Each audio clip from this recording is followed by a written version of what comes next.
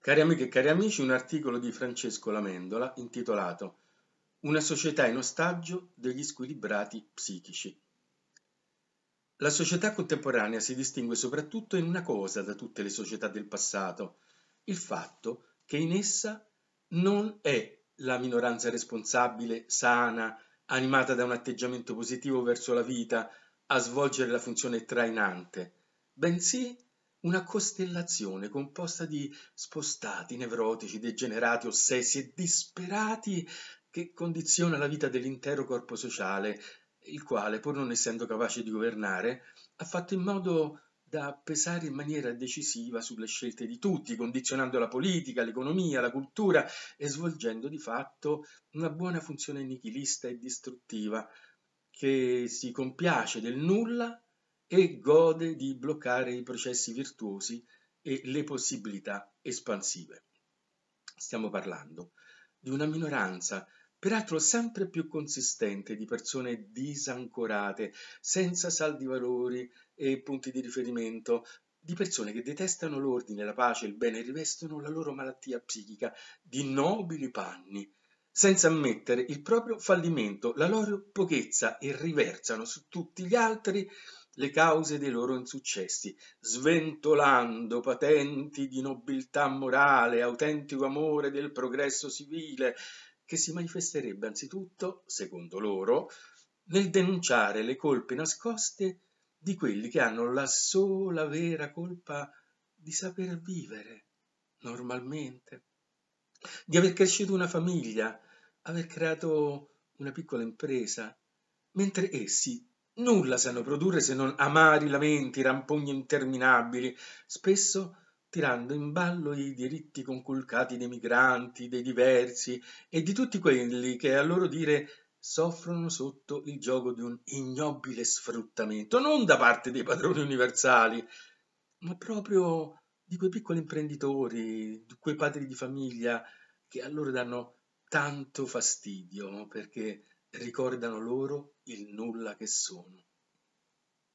Questi sono gli intellettuali, un esercizio di artisti senza talento, scrittori senza originalità, pensatori senza spessore, scienziati incompetenti, tutti però accomunati da una smisurata ambizione, un sordo rancore, un desiderio di rivalsa e di vendetta.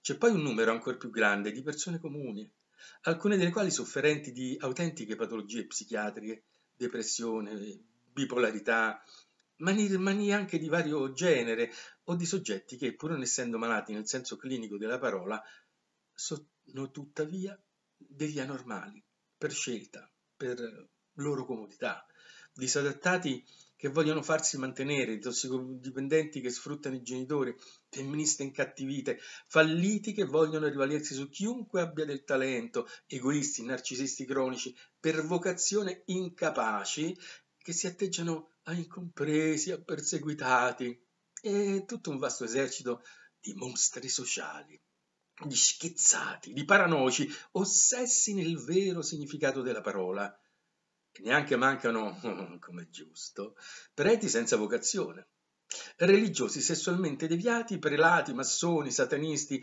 che rimestano nel torbido, propagano ogni sorta di sporcizia, eresia e aumentano la confusione generale, l'aumentano, l'aumentano con il loro stile malefico, sì, malefico, la loro pastorale capovolta e il loro controvangelo infernale, sempre alla mano. Scriveva negli anni 70 Maurice Verdun, un psicologo politicamente scorretto. Abbiamo descritto i principali tipi di persone tarate che circolano in gran numero nella nostra società contemporanea e che popolano le case di detenzione, rieducazione, gli ospedali psichiatrici. Ora intendiamo precisare il peso, il disordine e il pericolo che esse causano alle persone rimaste, eh, quelle rimaste sane, nei vari settori della vita sociale. Quante famiglie hanno a loro carico un debole mentale, un demente internato? Quante soprattutto sono turbate dalla convivenza con uno squilibrato del dinamismo, della sensibilità psichica, dell'affettività passionale, del giudizio pratico, dell'emotività? Nessuna statistica esiste a questo riguardo. ma il caso è così frequente che senza dubbio sarebbe più facile enumerare le famiglie che sono immuni da disturbi della vita mentale. È certo che oggi le famiglie fortunate, che non hanno nel loro seno uno dei grandi invalidi o di semplici minorati dello psichismo, sono praticamente senza difesa contro il contagio di questo flagello della vita familiare costituito dai disordini dalla vita mentale, mentre nelle famiglie che ne sono affette, le persone sane devono sopportare il peso di quelle malate con il turbamento continuo che esse provocano alla loro esistenza. Quanto ai bambini, devono soffrire proprio durante gli anni decisivi della loro formazione fisica e morale, gli squilibri dell'uno o dell'altro dei loro genitori, ancor peggio di tutti e due, subendo gli shock emotivi ripetuti, i traumi affettivi permanenti, determinati dalla presenza di un padre tirannico, impulsivo, violento, o ancor peggio di una madre ansiosa, nevrotica, spendereccia, sempre assente, in movimento eh, incoerente nelle parole e negli affetti, ma anche nei suoi ordini e nelle relazioni. Come stupirsi dello smarrimento dei bambini sotto la direzione di questi individui? Come meravigliarsi della loro volontà di evasione presso i nonni, gli amici, ove il focolare è più accogliente? I direttori di coscienza, i confessori di quei giovani penitenti che si accusano di aver addolorato la mamma o di nutrire rancore nei confronti del papà, non potranno fare altro che raccomandare il rispetto l'amore verso i genitori, pur sapendo che le esortazioni a dominare i propri sbalzi di umore e a assolvere meglio i doveri familiari rivolti a loro, volta a questi poveri educatori, eh, saranno totalmente inefficaci. Che cosa si può fare allorché un numero rilevante di persone è in balia di patologie psichiatriche? Si abbandona a comportamenti e stili di vita paranoici, distruttivi, egoisti, violenti, anche di violenza psicologica e la maggioranza non reagisce con la dovuta fermezza, come se non si ritenesse degna di condurre una vita libera, di agire regolarsi in maniera da aiutare i soggetti problematici, ma non assecondandosi, inchinandosi davanti a essi, bensì imponendo loro di sottoporsi a delle cure, o nel caso di aberrazioni volontarie, di desistere dal loro atteggiamento di parassitismo sociale. Sperare qualcosa dallo Stato, bah, è vano. Eh, rischia di rivelarsi un male ancora più grande che subire il silenzio. Pensiamo al caso di Bibbiano.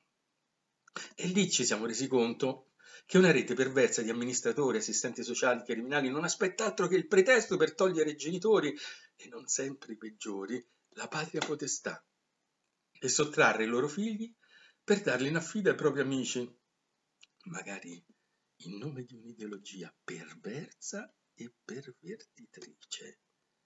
Nel qual caso il male che quei disgraziatissimi bambini rischiano di subire è perfino maggiore di quello cui sono quotidianamente esposti tra le mura di casa loro, in balia dei loro irresponsabili genitori.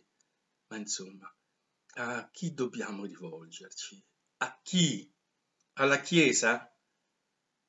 Certo, un tempo il prete conosceva bene le famiglie della sua parrocchia e poteva esercitare una certa influenza, mettere una parola buona, anche se poi in pratica, una volta lontani da occhi estranei, i mariti alcolizzati ricominciavano a maltrattare i loro familiari e così le madri isteriche o paranoiche.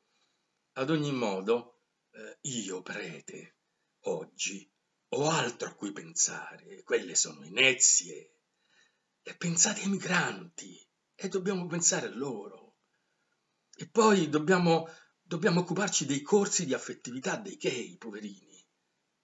E dobbiamo incitare i parrocchiani a stare attenti a non essere omofobi e quell'orribile cosa che sono le veglie di preghiera in occasione dei gay pride possono essere anch'esse omofobe. E poi devo sensibilizzare le anime alla cura dell'ambiente, ai problemi dell'ecologia, il vero dramma che è il sole che si sta spegnendo, come ci ha fatto sapere Bergoglio.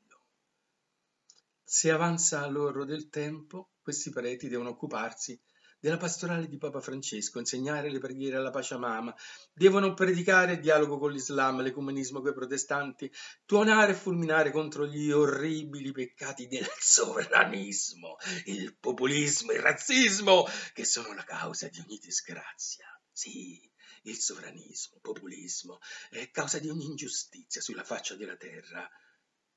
Ma allora, a chi dobbiamo rivolgerci?